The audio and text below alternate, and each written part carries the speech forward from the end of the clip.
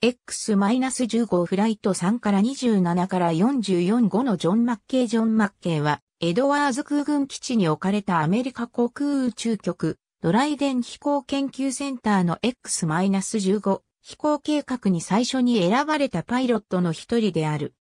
1922年12月8日にバージニア州ポーツマスで生まれ、1950年にバージニア工科大学を卒業して航空工学の学士号を取得した。第二次世界大戦中は海軍飛行士として太平洋戦域で戦った。マッケイは1951年2月8日から1971年10月5日まで国立航空士門委員会及びその後継組織の NASA に所属し、高速度飛行を専門にした。彼は中野当初インターンだったが、1952年7月11日にパイロットになった。X-15 の他に D-558 から1、D-558 から2、X-1B や X らにも載っている。また、F-100、F-102、F-104、F-107 の飛行実験にも参加した。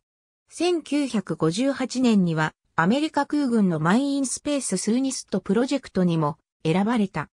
文民のテストパイロット兼航空技術者として1960年10月28日から1966年9月8日までの間に X-15 で30回の飛行を行った。最高高度は29万5600フィート、最高速度はマッハ5.64だった。1962年の事故により彼は NASA を退職したマッケイは1975年4月27日に死亡した。